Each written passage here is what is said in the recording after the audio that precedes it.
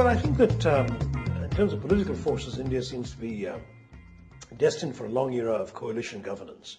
Uh, the last two governments uh, each were made up of coalitions of 20 odd parties, and, and that seems to be the direction of Indian politics. You've got a couple of big national parties, uh, the Congress party and the, the, the more Hindu inclined BJP party, have each got about a third of the seats and, and, and slightly less than a third of the vote.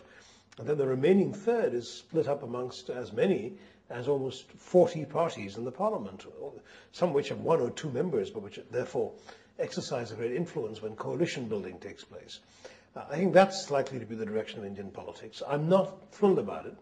Uh, one could argue that it promotes conciliation and cooperation, but on the negative side, it also uh, means that governments are, are vulnerable to uh, the rise and fall of political temperatures, and that uh, uh, an executive, unlike the US, can't just be elected to execute, to go out and change things for the better. It's constantly going to have to look over its uh, political shoulder at the, um, at the, the, the, tastes and wishes and demands of each of its many coalition members. And that, I think, is, is a pity.